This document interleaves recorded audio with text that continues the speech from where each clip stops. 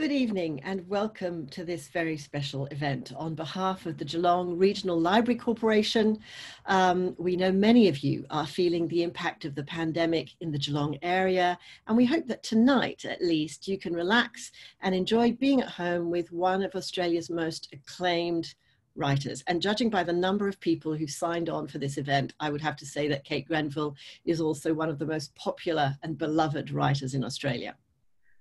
But before we get to Kate, um, Geelong Regional Library Corporation acknowledges Wadawurrung and Eastern Maar original owners of the land on which the library services operate. We pay respect to Wadawurrung and Eastern Maar elders, past, present, and emerging. We acknowledge and celebrate First Nations peoples of this land as the custodians of learning, literacy, knowledge, and story. Now, you can participate in this event. In fact, we hope you will by clicking on the Q&A button, which is at the bottom of your screen to type a question or a comment. You may, if you're using an iPad or an iPhone tonight, need to touch your screen first to get the Q&A function. This event is also being recorded, so you can watch it again or recommend it and share it with friends and family, and it will be uploaded to the library's YouTube channel probably by the end of this week. And at the end of this session, you'll see a link which will come up and show you how to order Kate's book online. Few books, I think, have been as eagerly anticipated as this new novel from Kate Grenville, A Room Made of Leaves, to which she brings her signature ability to tell a compelling story based on, but not bound to or by, historical events. I just love seeing where Kate's curiosity takes her and us. I feel like she's got the inquiring mind of both a scientist and a detective. In a room made of leaves, we get inside the mind of Elizabeth MacArthur, who was the subject of a recent biography by uh, Michelle Scott Tucker. Raised in Devon, she married Captain John MacArthur in 1788 and just over a year later sailed to the colony, where life was, to put it mildly, harsh. But she became a very successful businesswoman, as well as being a loyal, sort of, wife and mother to nine children. In this fictional version of Elizabeth, Kate Grenville presents us with a woman of multiple ambiguities, but who also possesses some of the traits that we associate with the women we love from the pages of her almost contemporary Jane Austen. This is one of the most layered, subtle, and yet bold novels I can remember. And in the age of fake news, on top of everything else, it urges the reader not to believe too quickly from another angle of relevance, it brings the past smack up into the present in the way it challenges us to face up to our ongoing relationship with First Nations people. And there are other very contemporary resonances I can hardly wait to raise. Welcome, Kate Grenville. Thank you. It's lovely to be with you all. Can I ask you, first of all, what country are you on? Thank you. I'm on the Wurundjeri Wurrung country of the Kulin Nation, and I would like to pay my respects to their elders. Stories have been told for millennia on this particular piece of land, I'm sure. So I pay my respects to all of those who have been doing that for so long. And I'm speaking to you interstate from Dharawal country, which is the country of the Wadi Wadi people on the south coast of New South Wales. And I pay my respects to their elders and storytellers past present, and emerging. Okay, let's dive in because there's just so much to talk about with this book. Um, Kate, you thought of this book 20 years ago, and I'm just wondering um, how you keep a book on the back burner and know when both it and you are ready. Because I often um, think of books that sort of arrive in your mind at a certain point, a bit like planes, and you have to keep them in a holding pattern, flying around until you can give them permission to land.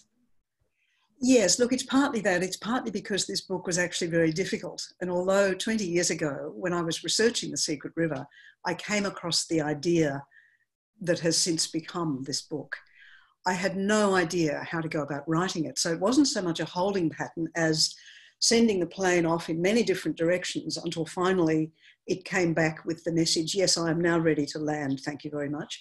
And of course, I did also read, write um, either five or six books in that same 20 year period, which were kind of more urgent. They were just about to land. I had to get them written. Um, yeah, a, a book is a strange thing. I mean, you have a certain amount of control over it, and in another way, you kind of don't. I almost feel as if I'm always chasing the book. I'm always a bit behind it. It's showing itself to me, and I'm a bit obtuse for a very long time. It's why I have to write so many drafts. I was actually up to, up to draft 34 when I gave, when I know it's, look, it's a mark of my stupidity that it takes me that many times. I think it's a mark of your persistence. And by the way, I should also just mention to the audience, we did not collude about what we were going to wear this evening. The purple is completely by coincidence. Okay, glad we've got that out of the way. Um, just um, wanted to ask you, just staying with that a little bit, is there a sense, Kate, in which you have to give yourself permission to take a real um, existing person's life on in this way? Is there, is there a sense in which you have a kind of sense of the boundaries that are set up and established by a biography like Michelle Scott Tucker's, which you acknowledge in, in um, your book, in the acknowledgements? I mean, what are the parameters here? Look, um, I suppose every every writer has their own version of what their parameters are. Um, uh, look, mine were quite simple. Not all that much is known about Elizabeth MacArthur, and in a way, that's a great advantage for a novelist. It mm. gives me a lot of latitude. But I did decide that if I were to depart from the little that is known, you know, historical facts, if I was going to depart from that, if I were going to depart from that, I would kind of acknowledge it um, and only do it if I kind of absolutely had to. So, in fact, there are very few times when I've departed from the kind of historical record, I think.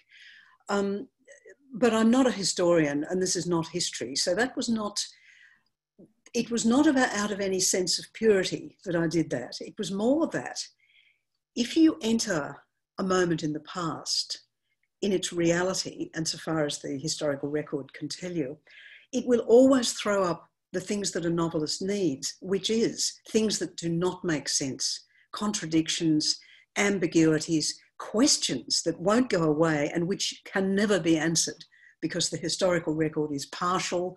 It privileges the white male version of events, all those reasons. So I set that, I set up that little parameter for myself and it gave me great satisfaction. So there are, I think, two ways in which I've very knowingly departed from the historical record. But that's just my own, you know, you do need, it's like writing a sonnet. It's a great help that it's only going to be 14 lines and it's going to have the, whatever it is happen to line 12. Um, that's a great help for the creative imagination, which otherwise can just sort of squander itself going in every direction. It's lovely to have a restriction. So I'm curious whether you think that Hilary Mantel has been a significant influence in in um, thinking about historical fiction, where you get inside the mind of a of a significant uh, character, single individual. Um, obviously, you know, she's she's done it at a sort of very virtuosic level in terms of the kind of sustained um, effort of three volumes over a, a, very, very rich period of time, a very complex and rich period of time. Do you think that there is a sort of Mantel factor at play here for either writers or readers in accepting this idea? Oh, look, I don't know. I mean, people have been doing this, well, since Homer. I mean, there was a real man who was kind of like Ulysses. Shakespeare springs to mind. This is a very, very old form of writing that we're all doing. And um, good on Hilary Mantel for bringing that bit of history so colourfully uh, to life. Um, and in a way, yeah, look, I think it's been very good, but I think, you know, the, the Academy sometimes has a problem uh, as we know, with historical fiction. I don't think readers do. I don't think readers have any problem about knowing that, okay, this is fiction. We take it with a huge pinch of salt. We do not believe too quickly, but we're going to enjoy it. And frankly, we may not enjoy the history. quite mm. so much. Mm. So, uh, yeah, good on her for kind of making making historical fiction sexy. Well, and you've made colonial history sexy, frankly. But well, that is a challenge. That is a challenge because Australian history, you know, people groan, oh no, Australian history, it's so boring, nothing happened. So the great challenge there, whereas we all know Cromwell and all that lot were interesting. Mm-hmm. We were taught as Australians that Australian history was boring. So it is a fantastic pleasure for me to go into some tiny little corner of it, such as the myths about the MacArthurs, um, and to explode them into a much more interesting shape and to say, look, our history is just as interesting as everybody else's. Absolutely. If if I had been taught this history your way, my God, you know, I would absolutely have been have been riveted. I agree. Um, before we go to the sort of sexy bits, I hope we'll get to the sexy bits. Um, I just wanted to ask you about the references that I made in the introduction to Jane Austen, because you also signpost Jane Austen up front. Um, and there are various kind of things that you do in this book where you see um, the business of um, being married off, the social gatherings which are opportunities for people to meet the right match in, you know, uh, the opposite sex. So you are very deliberately, aren't you, paying a sort of homage to Jane Austen? Yes, I am, because uh, this book is you know, the women of those times had only one weapon at their disposal. They could not write down anything of what they must have really thought about their hideous lives of almost no choice and no power. They couldn't write it down in letters because letters were public documents. They couldn't write it down in novels unless at least the surface of the novel was kind of respectable and conventional, what a lady should do. The only weapon they had was irony. And that, of course, is what Jane Austen does magnificently. So uh, she presents what can appear to be a blameless, ladylike surface. But under that, of course, is rage. I mean, if you read Jane Austen through a certain lens, this is a very, very angry voice that you hear. And no wonder they had a rotten life. And so I brought that parallel in because my book is also extremely ironic and it's based on the irony that Elizabeth MacArthur left really her only, the only record of what she was like are her letters. And her letters are very bland, very proper, rather pious, the devoted wife. They are the expected and conventional thing of a woman of her time. But of course, her life was anything but demure, respectable, or as cheerful as her letters make out her life to be. So, in that gap between the letters, which put this kind of Pollyanna view forward, and what we know of her real life with a man, her husband, extremely difficult, one of the most difficult husbands on the planet, I would go so far as to say. And a woman like a Jane Austen, from the same background as Jane Austen, plunged into, you know, the hideousness of um, Sydney in 1790, a, con- a, a brutal penal colony, uh, the disparity between the letters on the one hand, the life on the other, is the place where a novelist, as I did 20 years ago, thinks, ah, there's a story here. Mm. And the story is in that gap where there's an ironic distance between what's presented and what's real. But you know, Kate, there's something quite tragic and poignant about what you say, which is, you know, this is something that we think of as being in the past, these very performative letters, which are going to be read back home to everybody at the vicarage, everybody, ever, everybody who ever knew Elizabeth wants to know about her life in the new world. But then I thought about Sylvia Plath's letters home, her letters to her mother, which were equally in the 50s, um, full of lies and illusions about life is absolutely splendid. And, you know, I mean, women have not stopped doing this. Even in the 20th century, they felt that they had to perform a certain kind of success. Isn't that tragic to think of that span of history? Absolutely. And all those people who primp themselves up to put themselves on social media, it's exactly the same. I suppose the difference is we do have a choice. We we do that. I mean, after all, Sylvia Plath could write the poems which are a savage, frank outpouring of what she really thought. So we at least do have a, a choice of how much we want to show and um, what kind of person we want to present. Whereas a woman like Elizabeth MacArthur had no choice, which is why you know, one of the reasons it took me 20 years to write was how am I going to tell this story, which is kind of getting in behind that myth of the perfect wife that we've all learned about about Elizabeth MacArthur. That is anybody who's heard of her, not you know, not everybody has. How can I do that? And it was not until I came up with the idea that ah, she's written her secret memoirs, her inflammatory, scandalous, frank outpouring of the heart, secret memoirs, hidden them away. 250 years later, they appear, and by some incredible miracle, they arrive in my hands.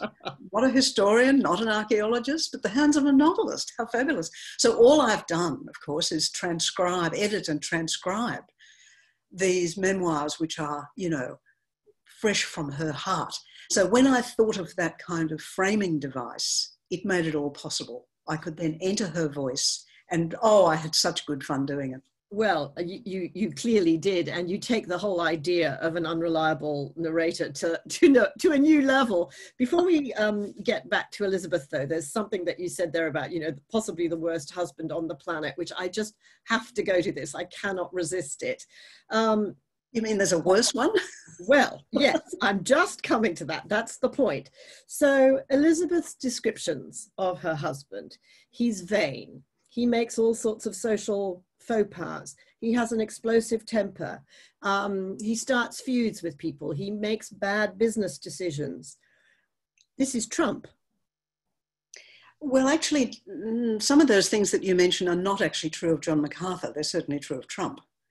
Um, but were you thinking about Trump? I mean, you say, you know, there's one quote that I just want to read. My husband was rash, impulsive, changeable, self deceiving, cold, unreachable, self regarding, someone whose judgment was dangerously unbalanced. I mean, come on. You know, a lot of writers um, are very careful, and I'm one of them, about writing about things that you wouldn't want to happen in case they come true, because most of us have had that experience. You write something, and then, oh my God, there it is happening. So, but I'm not going to take responsibility for the man in the White House. I did start writing this book, you know, some years before he was on the agenda, but it is kind of uncanny. And it is, I mean, I always said look, I'm interested in history. I'm interested in the past. I'm interested in Elizabeth MacArthur. But what I'm really interested in is the present. Mm. And this is essentially a book about the present. And as you say, fake news, misinformation, all that kind of stuff. So, um, you know, all of all of that, all of that stuff about the past is really just a mechanism to talk about today. But to have written the book and then see how uncanny that resemblance is um, was a little little more in the present than I really. Mm, I feel I've bitten off more than I can chew. Yeah. Did I invent that man? Surely not. It's really it's spooky. I mean, you know, I was chuckling to myself all the way through, going, I can't believe it. Anyway, um, back to Elizabeth. Um, there's something interesting about her which is true in real life. I mean you didn't make this up but it does remind me of something else. So you you um, let us know early on that elizabeth was plain and in um, Elizabeth Gilbert's book, The Signature of All Things, she creates a fictional 18th century heroine who is plain. And this gives her a tremendous advantage because it allows her intelligence to come to the fore. Her beauty is not a distraction. And I was wondering whether you saw Elizabeth's plainness as being something that, in a sense, uh, was an asset because of a similar thing, that it, it meant that she had to invest in her curiosity. She had to learn things, she had to work with what she had. Yes, look, I think in the in the 18th century, probably physical beauty was not a was not as big a factor as it is for us today, because marriage, the whole courtship thing, didn't really have much to do, I don't think, with physical attraction. Mm. Um, it had to do with money. I mean, the only way, the only career option for a woman was to get married. There, there was no other career, and the only the only choice you had, and it wasn't, it was a very limited choice, was which of the men that you happened to meet uh, might not only, well, might, might give you a, a decent life. I mean, we know from Jane Austen that a man like John MacArthur, uh, with his lack of prospects, would probably, in fact, not have married. In fact, he wasn't Captain John MacArthur when, when they married, he was Ensign John MacArthur. Big mm. difference. Yeah. Very lowest form of officer. Um, so, you know, it's it's um, that whole notion that love was involved. Jane Austen is not about love. No. She's about commerce. Those books are those books are, are they're business manuals, really. Absolutely. They're about transactions. Yeah, exactly, exactly. Mm. Thank you. So I think our obsession with looks. Um, the reason I made her plain in the book, though, is that when you look at the the only portrait which is likely to be of her, in fact, it is. In fact, there are two pictures of her, and she's not ugly, but she's not beautiful. The one that's sometimes put forward as the picture of her, which is lovely curls and beautiful little face. She's like a little chocolate box person. She's probably actually nobody, but she's pretty sure not. That one is called, you know, it's it's said to be, it's uh, reputed to be of Elizabeth Macarthur, but the the one that hangs in Elizabeth Farm is a woman with a str- was a strong, interesting, but not particularly beautiful face, and the photograph of her as an older woman, which I've looked at many times. I think what a shrewd ironic glance you have. Mm. So. Um, I'm just going to remind the audience that you can actually pop a question into the Q&A uh, box at the bottom of your screen at any point. We can take questions as you ask them, or we can save them all up for the end, but feel free to um, throw one in at any point. Um, Kate, you've obviously done a lot of research for the book, and the book wears the research so lightly. You know, that's, that's one of the beautiful achievements of it. One of the things that you've clearly learned a lot about is the breeding of sheep. But I was wondering whether there was anything really arcane or obscure that you discovered for this book, apart from learning about um, sheep husbandry, um, that really kind of surprised you. I mean, for example, one of the things that I love as a detail in the book is this idea that apparently when you went to dinner at the governor's house, because food was so scarce, um, you brought your own bread. Is that true? Oh, absolutely. In fact, that quote, that line where the governor says, there will always be a roll at my table for Mrs. MacArthur, is straight out of uh, maybe the Watkin Tench, one of the early accounts. It is a verbatim, you know, that's straight out of the. I, I filched a many, many lines out of the historical record. That was certainly one of them. Look, as for the most interesting thing, gosh, you know, I come back to the idea of William Dawes, who, of course, has fascinated me and many other people for many years. I've written about him in The Lieutenant, and clearly I didn't get it out of my system there.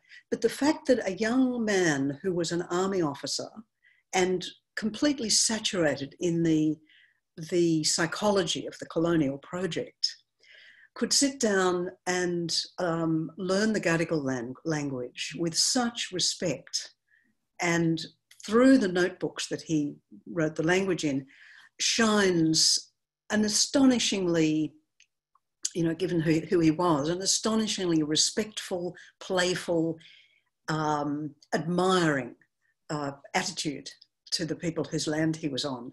Mm. Uh, that's not a new idea, but it continues to amaze me. Here is a man who could step out of his world somehow unaided could step out of his world and expand his mind to something else. And of course, when I wrote The Lieutenant, I actually had Elizabeth Macarthur in there.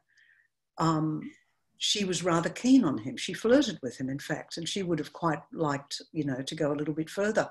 But in the version that I wrote in The Lieutenant, uh, he was already suited. He actually had a convict mistress, which all of the officers did. Now, in a late draft of that book, for reasons which are now obscure to me, I took both the convict mistress and Mrs. MacArthur out of the lieutenant, and I always mourned them. So I put them away. I have a big folder called Good Bits to Use Later. what an imaginative title that is. Absolutely. Very thrifty. Um, and so it was with a huge pleasure that I could realize that not only could I put Mrs. MacArthur and William Dawes back together again, but I could also even put in the convict mistress, who of course is Mrs. Brown in, in this book. who is, I mean, she has a whole story of herself. Somebody else might have to write her story, but there's a whole novel there as well. So I yes, love, I love that idea that characters tell you, um, "We're not done with you. you need you need to give us another go." You know, that's really what that sort of feels like in a way to me. That's right. I mean, any given novel has its own logic, which is why I took them out of um, out of the Lieutenant, because I wanted that book to be very focused about this is a man and his relationship with the Gadigal people and the moral dilemma it gets him into. Um, and I thought if I complicate it with all these love affairs, it's going to kind of diffuse what I thought was a very important thing to be talking about. Um, but yes, some characters do come to you with the force of real people. Mm. And uh, of course, that's not true but it certainly feels true. Mm. Now, I said before um, that we would get to the sexy bits, and, and, this is sort of a preamble in a way to the sexy bit. Before Elizabeth um, marries, she has been thinking a great deal about the value of her virginity as an asset. We were talking about the transactional relationships in Jane Austen. But um, she has also, it's fair to say, dabbled a little bit sexually with her friend Bridie, and um, she describes what's so wonderful about the way you um, you describe these encounters.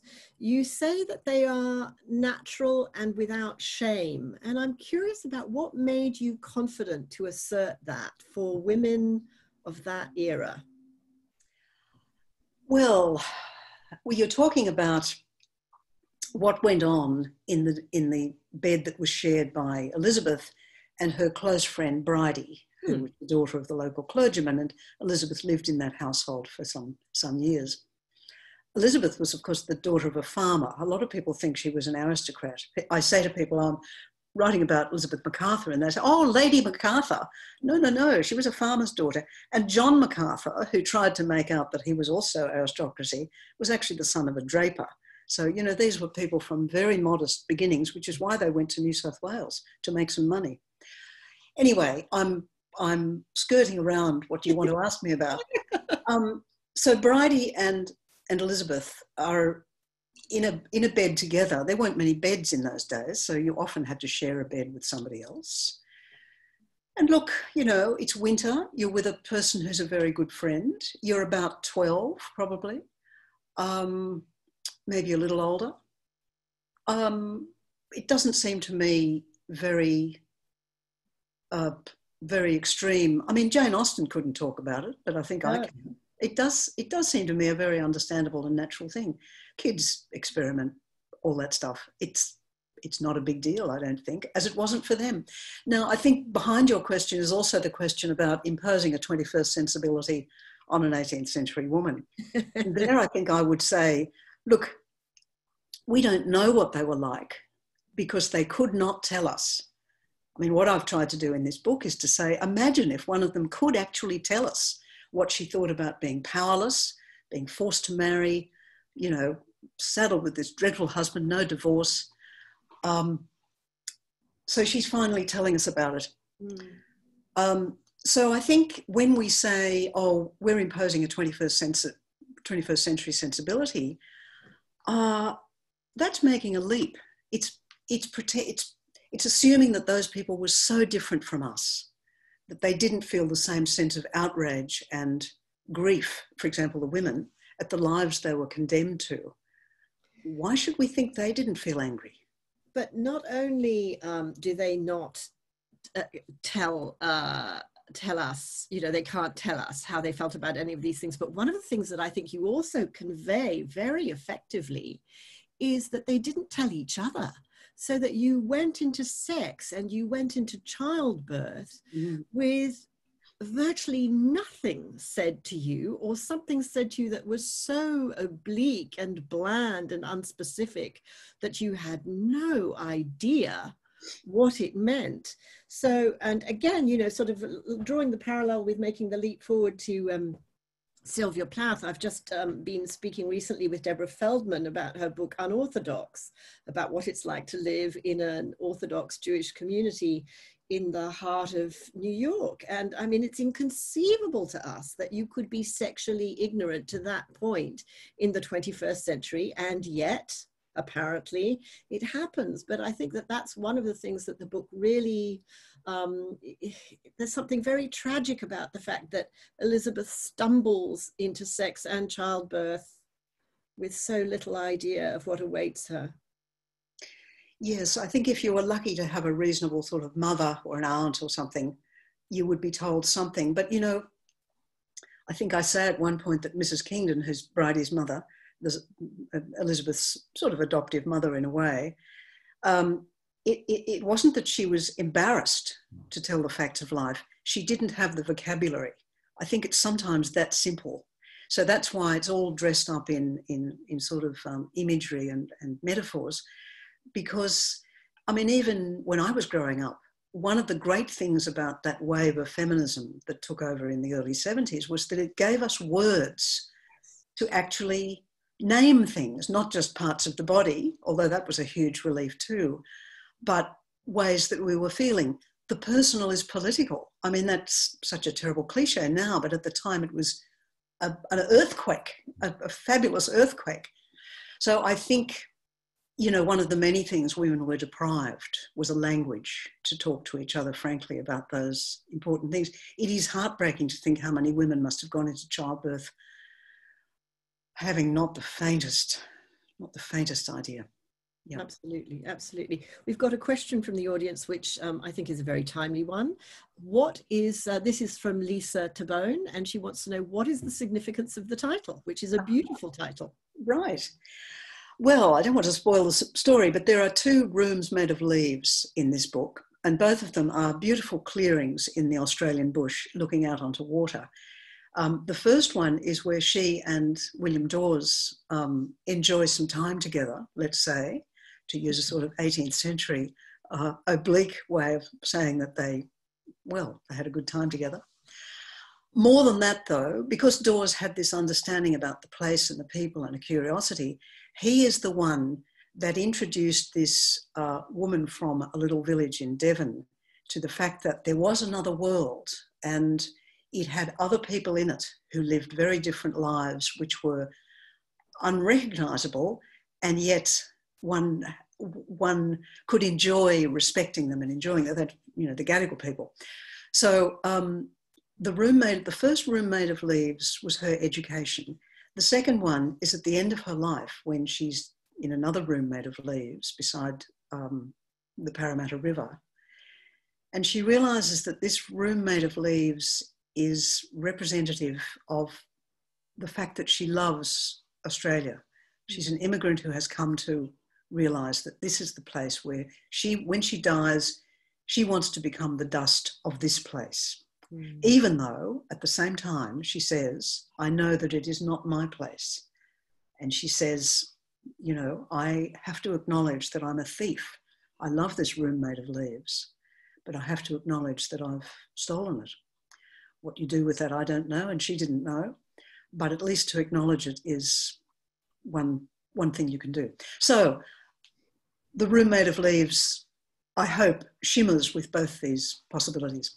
Well, and it also shimmers for me, at least, with another kind of, again, modern reference. So I don't know whether everybody does this, Kate, but the moment you as a woman see a book with a cover where the first two words are a room, you know, you complete the sentence and you think a room of one's own.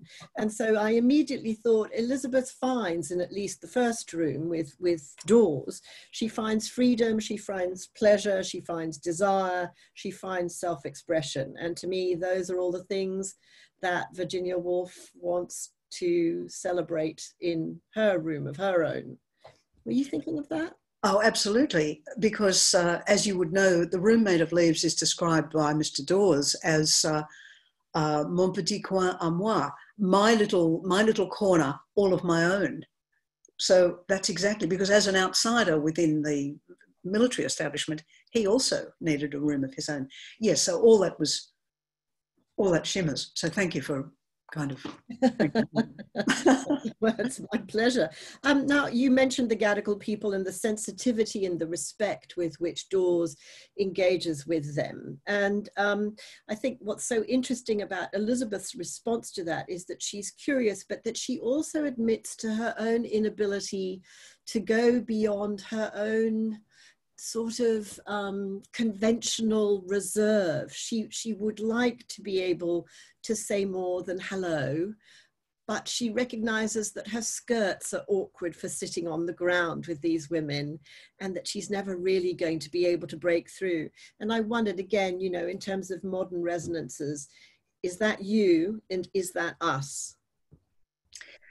Yes, interesting. Look, her skirts certainly don't stop her sitting on the ground the thing that makes sitting on the ground with the Gadigal and Wangal women possible is her relationship with Mr. Dawes, because he's the translator for a start.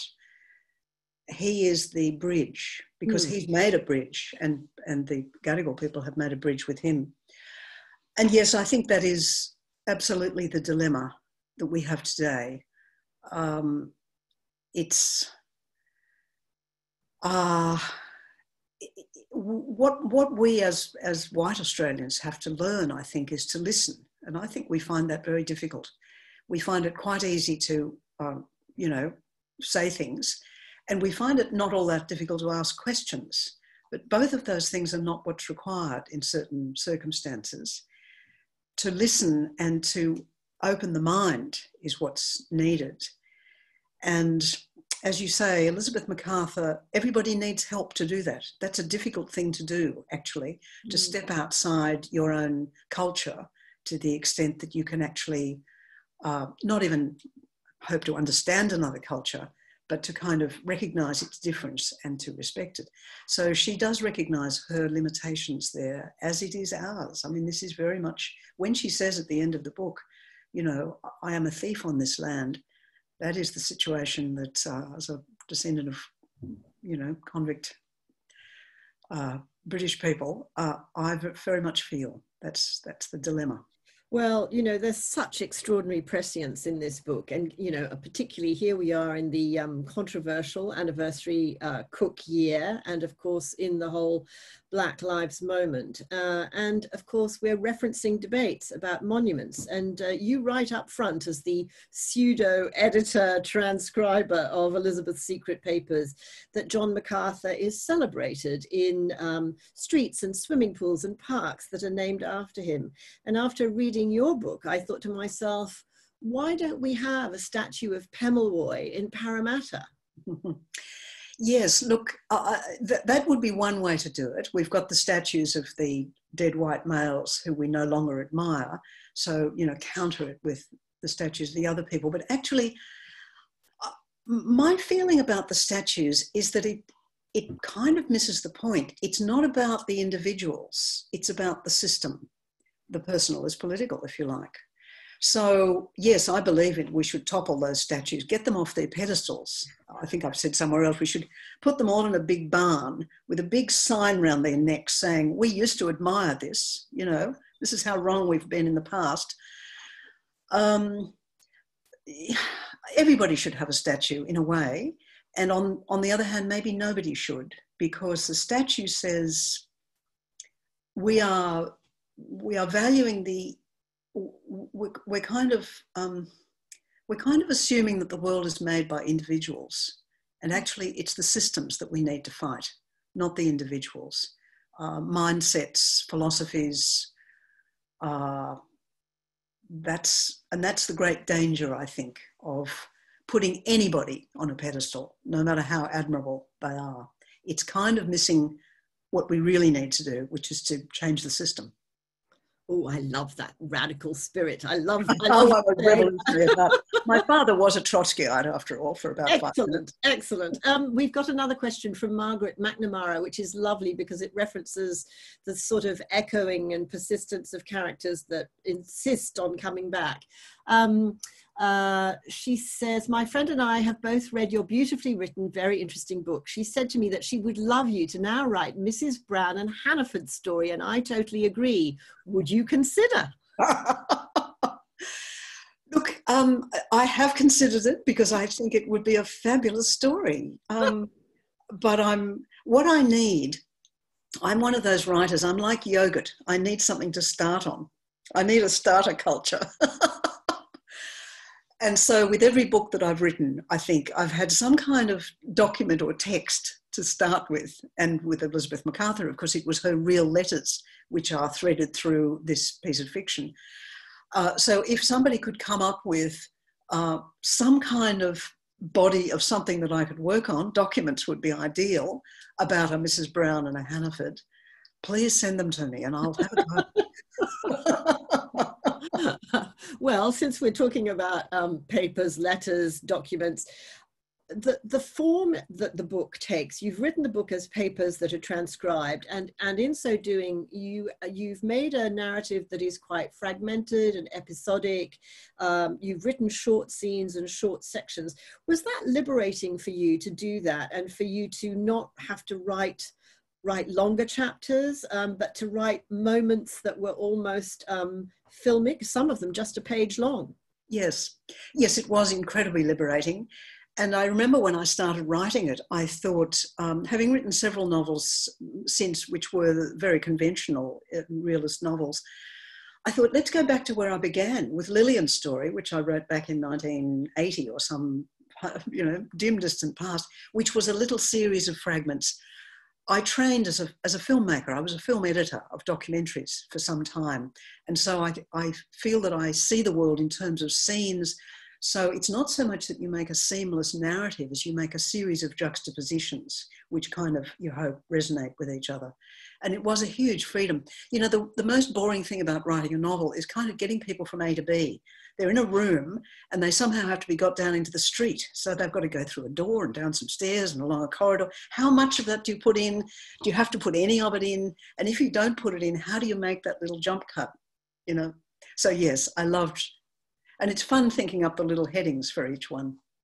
Yeah, I had so much fun with this book. I can imagine. Oh, I'm glad. I, I hate the idea of toil. You know, I think we have to move oh. away from the idea of toil, don't you? This is play. Um, this is play. Got, uh, two questions now. Barbara Katic, what was the most surprising fact that you discovered about um, Elizabeth in the course of your research? Ah, what a good question. Um, I was surprised that she came from such humble beginnings. That was a surprise to me because, like many people, I had assumed, because John MacArthur, the greatest self advertiser the world has known, apart from perhaps the man in the White House, um, uh, he somehow got us all fooled that both of them were aristocrats. So the fact that she was from such humble beginnings uh, was a great surprise to me. The fact that sheep are actually so interesting is the other thing. Like a lot of city people, I had this terrible stereotype about sheep being not only boring but stupid, neither of which is, is true. Uh, so, yeah, it was. It's interesting because obviously um, her humble beginnings.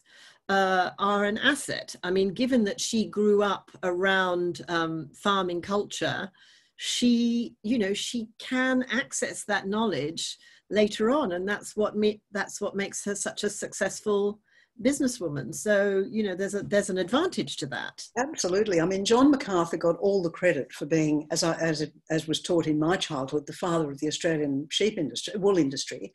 Uh, in fact of course he was in london for most of the years when the sheep was being bred so clearly it wasn't him and when I realised that Elizabeth's father was a farmer, she lived with her grandfather, who was also a farmer in Devon, which of course is sheep country, mm. it all starts to make sense. She is the mother of the. I mean, he was on the $2 note, you know, with a, with a merino sheep standing behind him. I must say, a rather sly looking merino sheep, as if he was. uh, so, anyway, it, it all kind of made sense when you realise her background was he grew up in Plymouth, the, the, the, son of a draper. So he would have known wool only as it came off the bolt, you know, ready to be cut up, up into uniforms. I have to say, one thing I was curious about, um, Kate, was uh, he spent an enormous amount of time away f- on various um, matters. I mean, court cases, etc., mm-hmm. uh, in the UK. Do you, do you were you tempted at any stage to spec to have Elizabeth speculate about his fidelity? Oh, well, I do just fleetingly mention it, not so much while he was away in England, because actually that happens after the book ends. But when he took up the land at, um, took, took the land from the Barramatigal people at Parramatta and installed Elizabeth there on Elizabeth Farm, he actually yes. went in spending a great deal of time in Sydney. And that's right. I have just embedded in the book the possibility, which is, I think, quite probable, that he enjoyed himself as every other officer did with a, a little convict lass. Well, that, that would have been the culture, and that would have been, you know, sort of um, a sort of a one night stand. Whereas I suppose I'm thinking that given that he was away for years at a time, oh, yeah. you know, I sort of wonder was there another more mm-hmm. long term relationship, possibly that we don't know anything about, that was in England, and whether Elizabeth would have been worried that he might never come back. Oh, I don't think she would have been worried. I think she would have been delighted. uh, yes, you know, in one of her letters, now talking, speaking of irony, in one of her letters, he, when he's about to come back after his first absence, which was four or five years, she writes to a friend in Sydney, um, and she says, um, "You can imagine my feelings at being told that Mr. Macarthur is about to return." Yes, I think we can absolutely imagine her feelings, but you know, the phrasing is very careful. Um, so yeah, I think he probably did. He was also pretty unwell. I mean, he was a man who probably was afflicted with not only physical but I think also mental illness for you most. suggest, in fact, that as well as the sort of grandiose scheming, there's certainly one moment in the book where he sinks into what appears to be depression, yeah. and he's almost, it seems, maybe man. There's a there's a quality yeah. of mania. Yeah, when you read his letters, of which there are many, and they're much more revealing actually than Elizabeth's, um, I mean, I'm not the first person, people who know much more about all this than I do have suggested the same thing. Um, it, it is the classic, you know, mania, huge, grandiose schemes, fabulous, you know, plans and self importance, uh, succeeded by depression of such a kind that I think in one letter he says he couldn't get out of bed for like a month. Yeah. So it's it sounds like poor man. I mean, he he would have been a terribly terribly difficult man to live with. But I have also tried to portray him not as a kind of one-dimensional monster, but very much as a man uh, damaged by his childhood, probably, and also uh, you know laboring under this kind of mental this mental problem. Mm, mm. Well, again, you know, I mean, Trump, you know, kind of mentally mentally unwell. Narcissistic personality disorder whatever not necessarily depression but you know something clearly not quite right. Mm-hmm. um, we've got another question from margot smith. How did you find the voice for mrs macarthur and i think that's a really interesting question because you at the beginning in the first half of the book she's quite astringent. She's quite tart at times. I mean, her analysis of her husband is quite vinegary in moments. And she's also quite cunning and quite manipulative of him and of the social milieu in which she finds herself. She likes herself more after she's met Dawes. And so there's a softening and a mellowing and a greater sensuality to her. So, how did you find the voice and then how did you modulate it? Mm-hmm. Yes, good question to which I really don't have much of an answer except to say that um, there's a reason why I wrote 34 drafts. And in each of those drafts, that came a little bit clearer. Actually, the voice was pretty much there from the beginning, but that thing that you've described of her shift over the course of the book, her character actually blossoming into something, that did take quite a lot of time to try to understand. At one point, when she's young, uh, where she was forced to pretend all kinds of things, she says, you know, I, I had to fold myself up small and put myself away where no one could see me. And the book really reveals her gradually blossoming. And Dawes is a very big part of it. But, um, you know, a woman doesn't necessarily need a nice love affair to blossom. It probably helps. But a lot of things, a lot of things helped her blossom. And one of them was falling in love with Australia, actually, as a, not Australia, but, you know, the bit of it that she, she that she became familiar with. Um, yeah, look, it was, um, in some ways, it was very simple. I do remember when I was sitting up in bed one morning, actually starting the book, thinking I have to just put something down on paper. It came out very easily, her voice. And I suppose it's because I had been thinking about it for, you know, 17 years. Mm. Um, so she spoke to me. I mean, there were days when I thought I was kind of channeling mm. Elizabeth MacArthur. I know that sounds kind of silly, um, I don't think much of writers who say that really, and yet, and yet it happens. You just did. Say. I always think, oh, come on, pull the other one. but then it happens to you, and you think, oh, okay. I love that. I love the fact that you're so rational and sensible, and this thing, is slightly woo-woo thing, happens to you when you basically. That's when you're in the zone, isn't it? That's that's flow. That is true flow that is that is flow that's right and clearly i'm channeling something from my own unconscious if we yeah. want to be kind of rational about it uh, but it's an ecstatic feeling when you when you get there you think yes this is something true. This is authentic. I'm not just making something up on the basis of cliches and stereotypes and other things that i've read. This is coming from some deep authenticity in myself not necessarily elizabeth macarthur. But if it feels authentic that's well that's that's why you're right i think isn't it? To mm. find that moment when you are t- telling the truth about something and and I, I imagine that when you're in that zone it must feel like flying that's that's the closest I, I would imagine it would be like and i think that what happens in that modulation that we were talking about between her slightly sort of um, tart mm-hmm. uh, comments that she makes, which are very Austenish again and slightly waspish at times uh, in the first half of the book, and the softer more expansive view is you've given her confidence, you've given her self confidence. I think it's the journey that many women, not just in the 18th century, have to have to travel. I suppose men do too. I don't know about their journey, but certainly for women, um, and certainly of my generation, I think it's different for young women today. They have a different kind of journey. But that journey from feeling like a bit of a second class citizen, because that's what the culture told you, um, a culture that was misogynistic in a way that we look back in amazement that we put up with it. But we did. We put the wonderful thing about the Me Too movement is that my generation put up with all that stuff. It was like something you just accepted, like bad weather, men, you know, cracking onto you. Um, and these days, women don't accept it, and that is so brilliant. But I think that journey of working out where you stand about all that, coming to respect and like yourself, uh, is still one that young women, uh, well, women of all ages, are still going through.